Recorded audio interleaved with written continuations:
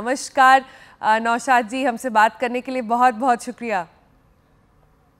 पहले तो मुझे ये बताइए कि यू नो इंडिया को जब कैप दिया गया सरफराज को। उसने कैप लिया, उसके हाथ कप कप रहे थे उस टेस्ट मैच के पहले।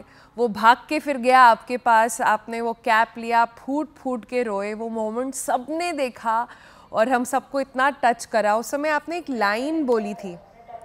वो कि सूरज अपना समय लेता है निकलने में। वो लाइन एक बार पहले तो दोहराएँगे हमारे लिए।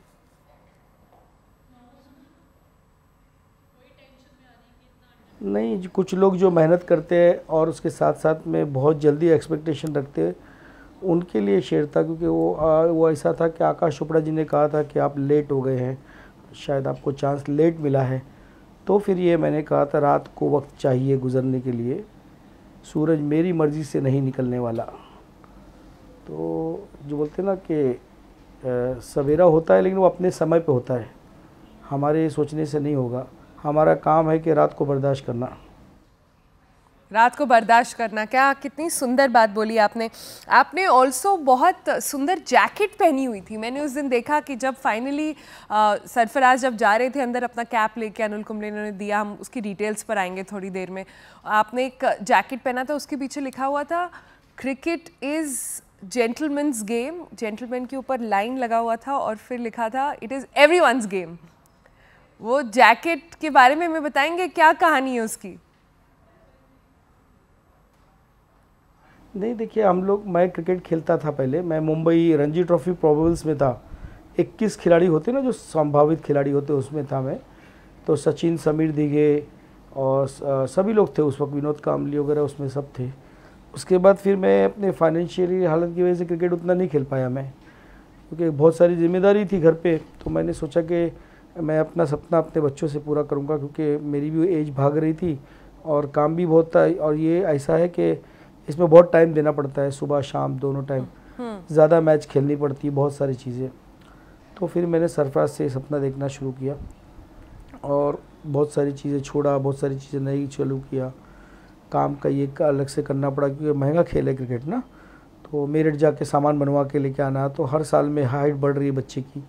तो उसके लिए हर साल तीन सेट नया तैयार करना सामान. तो इस तरीके से था और मतलब कभी भी वो बोलते हैं पैशन जो है वो जुनून कम नहीं हुआ। चाहे वो सिलेक्ट हो नहीं हो काम अपना करते रहे बस हम लोग।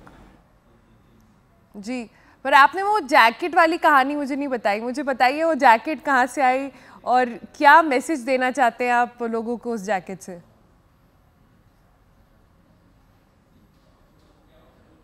जी जी। नहीं मैंने नहीं ये एक्चुअली सरफराज का कॉन्ट्रैक्ट है प्यूमा से।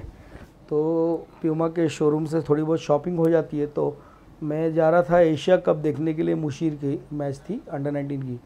तो दुबई तो उसने कहा कि अब वो मेरी बात हुई है प्यूमा वालों से आप जाके थोड़ा शॉपिंग कर लीजिए। और वहाँ दुबई में ठंडा भी होगा, ठंडी होगी थोड़ी। तो मुझे ये जैकेट पसंद आई क्योंकि उसमें क्रिकेट की एक लाइन लिखी थी। उसमें लिखा था cricket is every one game और बीच में जेंटलमैन की लाइन थी तो उन्होंने वो कट कर दिया। तो वही ये जैकेट थी तो उससे एक मोटिवेशन भी मिलता है कि भाई हर एक कोई खेल सकता है। और आप तो घर घर आईपीएल होने की वजह से घर घर किचन तक किचन किचन तक क्रिकेट तो पहुँच ही गया है। औरतें सब पहले ही खाना बना लेती है, आठ बजे मैच है, सात बजे मैच है। तो मेरे ख्याल से घर घर पहुँच गया है। तो ये अभी किसी एक का नहीं रह गया गेम जो मेहनत करेंगे उसी का उसका हो जाएगा ये। किचन तक पहुँच गया। ये आपने अच्छी एक्चुअली बात बोली, ये सही है। पर मैंने सुना कि आप पहले मैच देखने जा ही नहीं रहे थे, फिर बड़ी आपको किसी ने मनाया, उसकी क्या कहानी है? नहीं, मेरी तबीयत थोड़ा ठीक नहीं है, क्या पता क्या अभी भी मैं इतना अच्छी नहीं है, कफ जमा हुआ छाती में। अभी डॉक्टर आए थे, जो हमारे फैमिली डॉक्टर इंजेक्शन और दवा दे के गए। सर्दी हो गई थोड़ी सी तो मैं एक्चुअली सूर्या का मैसेज आया था। कि सूर्या कुमार यादव ने कहा कि वो सरफराज का दोस्त है मुशीर को भी बड़ा प्यार करता है मुझे भी बहुत रिस्पेक्ट देता है तो बोला सर आप मैच देखने जा रहे हो क्या तो मैंने बोला नहीं सूर्या मेरी तबीयत ठीक नहीं है और मैं जाके अननेसेसरी प्रेशर नहीं देना चाहता अगर उसको चांस मिलता है हम्म। क्योंकि देखिए उम्मीद तो थी कि वो खेलेगा लेकिन ये नहीं पता टॉस होने तक कि कौन खेलेगा कौन नहीं खेलेगा क्योंकि पिच हम्म। देख के विकेट देख हाँ। के जो बारहवा नंबर है वो ग्यारह हो जाता है ग्यारहवा नंबर बारह भी हो सकता है ना तो मैं वो भी सोच रहा था बोला अगर मिल भी गया तो मैं अननेसेसरी प्रेशर क्यों दूँ उसे? तो थोड़ी देर के बाद फिर सूर्या ने मैसेज किया कि नहीं सर ठीक है आपके इमोशंस तो अपनी जगह पे लेकिन मुझे ऐसा लगता है कि आपको जाना चाहिए क्योंकि लाइफ में one of the best moment रहेगा आपके। ऐसा टाइम कभी नहीं आएगा। हाँ। उसके बाद वो बहुत खेलेगा आगे लेकिन ये मोमेंट नहीं मिलेगा आपको। मुझे लगता है जाना चाहिए। मैंने भी अपने घर वालों को लेके गया था। तो मैंने फिर सोचा था मेरी वाइफ को भी लेके जाऊँगा। लेकिन टिकट मिला नहीं मुझे। एक ही टिकट राजकोट की फ़्लाइट तो आपको पता ही है। हाँ। और दूसरे दिन मैच था आज ही निकलना था। हाँ। ऐसा था तो एक टिकट अवेलेबल था तो मैं चला गया। नौशाद जी हमें वापस मैं आपको उस मोमेंट में उस लम्हे में लेना चाहती हूँ जब अनिल कुंबले सरफराज को वो कैप दे रहे थे। कैप पर नंबर लिखा हुआ था 311 और उन्होंने कहा कि आपसे पहले सरफराज सरफू, आपसे पहले सिर्फ़ 310 लोगों को इस पोजीशन में खेलने का मौका मिला है।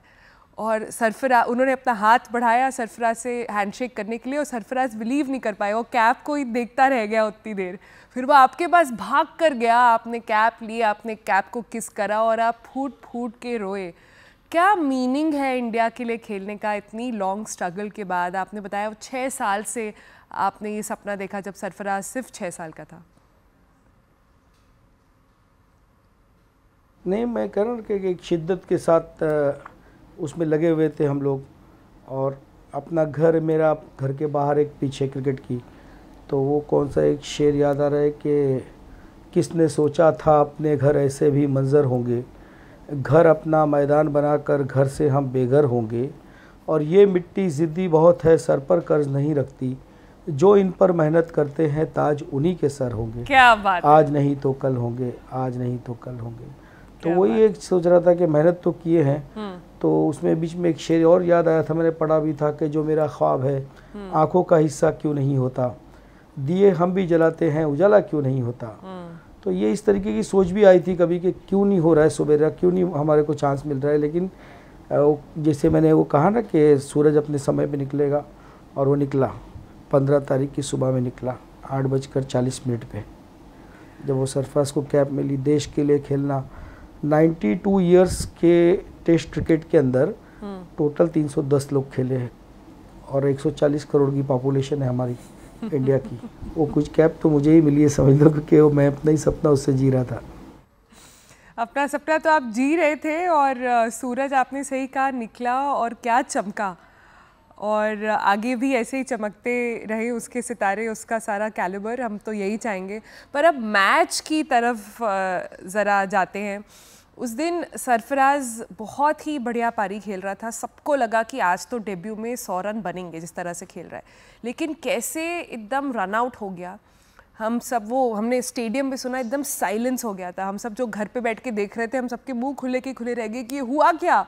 इतनी अच्छी पारी एकदम से कैसे ख़त्म हो गई? आपने आ, उसके बाद क्या बात करी सरफराज से? हमने बाद में जो मैच के बाद में जो पिक्चर्स देखे उसमें भी उसको भी बिलीव नहीं हो रहा था। वो बस बैठा हुआ था उसकी शक्ल दिखा रहे थे। रोहित शर्मा ने गुस्से में अपनी कैप फेंकी। इतने इमोशंस चल रहे थे। आपके मन में क्या था? आपने क्या बोला बाद में उसके? नहीं देखिए बैटिंग जिस हिसाब से कर रहा था उम्मीद तो थी।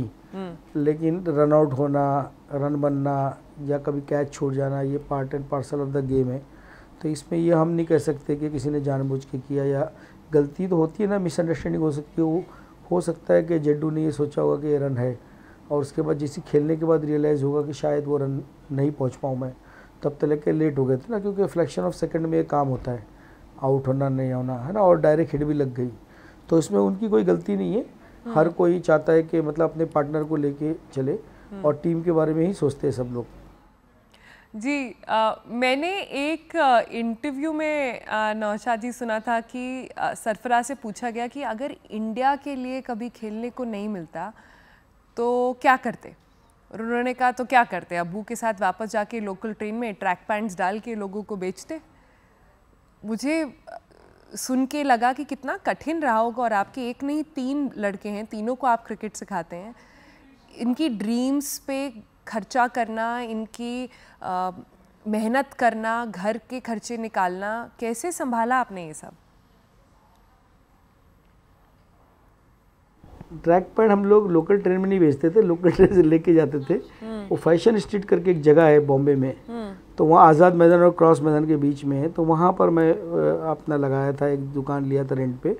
तो वो जो ट्रैक पैंट ला के उधर देता था उनसे एक पॉइंट के पीछे मुझे पैसे मिलते थे कभी कभी अपने लड़के रखते रखता था उनको मैं देता था पर डे का और बेच बिकवाता था उनको। और साथ में मैदान में प्रैक्टिस और मैच भी चलती थी शाम को हिसाब किताब भी करते थे हम लोग। तो क्योंकि अच्छा क्रिकेट में रेलवे। की कमाई से तो आप क्रिकेट नहीं खेल सकते ना। उतना पैसा नहीं होता है रेलवे में। क्योंकि इतने महँगे महँगे सामान है क्रिकेट के वो सब खर्चे कैसे निकलेंगे? तो जो काम मिला वो सब करते थे हम लोग। जी जी। आ, नौशाद जी मुझे लगता है आपकी कहानी क्यों इतने लोगों को टच करी है? क्यों इतने लोगों को पर्सनल लगता है? क्योंकि उनको लगता है कि अगर आप सरफराज ये कर सकता है तो बहुत उम्मीद जग गई है। जैसे बहुत सारे लोगों में इंडिया में जो उसकी कहानी देखते हैं कि भाई वो कर सकता है तो हम भी कर सकते हैं। अभी भी होप है। नहीं बिल्कुल यही तो एक मैसेज मिला है ना लोगों को। कि मैंने ये देखता हूँ कितने लोग अभी बॉम्बे में भी देखा हूँ मैं और भी कई जगह कि माँ और बाप दोनों अपना गाँव घर खेत बात बेच के बच्चे के पीछे शहरों में आए हैं। उनको क्रिकेट खिलाने के लिए और उस सपने के साथ में उनको खिला रहे हैं। मेहनत कर रहे हैं दिन रात लगे हुए ट्रैवलिंग कर रहे हैं। ना कोई रिश्तेदारी में जा रहे ना कहीं कोई शौक पूरा कर रहे ना बचपन में जीने दे रहे बच्चों को। और ऐसे कितने कई हज़ार अब मुंबई में इंडिया में ऐसे कितने लोग हैं जो क्लब को खेलते हैं छोटे मोटे या तो फिर रेगुलर अपने किसी नेट्स के ऊपर या किसी कोच के अंडर में खेल रहे तो उनको भी एक वो एक वो मिला है कि हाँ चलो सरफराज का हो गया एक दिन मेरा भी होगा उसने हिम्मत नहीं आ रहा हम भी नहीं हारेंगे। तो एक वो जज्बा मिलता है वो जज्बा मिला है सबको।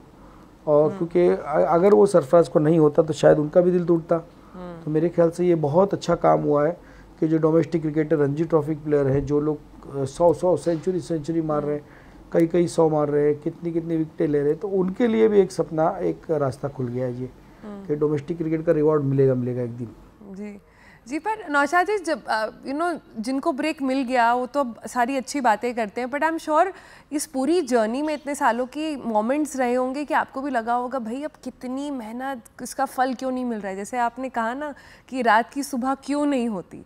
ऐसे मोमेंट्स में आपने क्या कहकर अपने आप को मोटिवेट रखा? आ, सरफराज को क्या बोल के मोटिवेट रखा कि नहीं बेटा लगे रहो अपनी ड्रीम के पीछे लगे रहो उसको छोड़ो नहीं? नहीं वो तो है लेकिन कहने का मतलब है दूसरा काम भी तो नहीं आता है। क्या करेंगे बताइए। इसके अलावा क्या कर सकते थे और? आज की तारीख के अंदर तो जॉब मिलना बड़ा मुश्किल है बच्चों को। और जो काम अभी कोई भी काम में अगर ऐसा काम जिसमें आपका शौक भी पूरा हो हो रहा और वो काम भी हो जाए तो उससे अच्छा तो कोई काम हो ही नहीं सकता है। और इसमें मुझे किसी को फ़ीस तो देनी नहीं थी कि उसको बैट पकड़ने सिखाना है या कहीं कोचिंग के लिए भेजना है। इनके लिए डबल एडवांटेज था कि बाप और कोच दोनों मिल गया इनको। तो मेरे ख्याल से ज़्यादा आसान हो गया क्योंकि ऑन द फ़ील्ड और ऑफ़ द फ़ील्ड दोनों हमारे साथ में थे और मैंने अपने कई साल क्रिकेट के अंदर खर्च किए तो वो सब एक्सपीरियंस मैंने इनको शेयर किया। मैंने अपने क्रिकेट में 25 साल में बहुत सारी गलती की तो वो रहा गलती हटा के इनको रास्ते बताया। और उसके बाद ये जो गलती करेंगे ये अपने आने वाली औलाद को बताएँगे या अपने जो अभी नए उनको देख रहे बच्चे उनको सुन रहे उनको बताएँगे कि मैंने अपने क्रिकेटिंग करियर में ये ये किया तो वो उनको फ़ायदा पहुँचेगा। इसी तरीके से ये तो चलते रहता है ना ये तो सीढ़ी है कि एक आएगा एक जाएगा। जी आ, मैंने रिसेंटली देखा कि आनंद महिंद्रा मुझे पता नहीं आप उनको जानते हैं कि नहीं उन्होंने एक ट्वीट करके वो इतना टच हो गए सरफराज की कहानी से कि उन्होंने कहा है कि वो आपको एक थार गिफ्ट करना चाहते हैं। इनफैक्ट उन्होंने कहा कि सिर्फ़ आपकी जितनी मेहनत गई है उसके लिए वो आपको एक थार गिफ्ट करना चाहते हैं। आपने देखा उनका ट्वीट हाँ मुझे मेरे बेटे ने बताया जो पिछले वाले ने भी और कई मोहल्ले के लोग आए थे। आपके आने से पहले उन्होंने बताया कि ऐसे ऐसे सर ने ट्वीट किया है।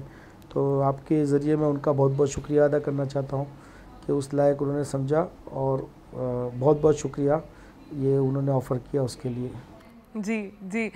नौशाद जी जाते जाते आ, अब तो सरफराज का डेब्यू भी हो गया है बहुत अच्छा खेल भी रहा है। फ्यूचर में उसके लिए आप क्या होप रखते हैं क्या विशेज़ रखते हैं? अपनी स्टाइल में कुछ बताएँ। शेर अर्ज़ है कि मुझको इस उम्र में आराम नहीं करना है। मेरे सपनों को नाकाम नहीं करना है। मेरा रास्ता बड़ी दूर तलक जाता है। पड़े कोई बस्ती फिर भी शाम नहीं करना है। क्या बात है, क्या बात है। Thank you so much Naushad ji, हमसे बात करने के लिए, हमें इतना इंस्पायर करने के लिए, आपने इतनी मेहनत करी अपने बच्चे पर, पूरा देश आज देख रहा है। एम श्योर आपको बहुत बहुत गर्व होगा। बहुत बहुत कंग्रेचुलेशंस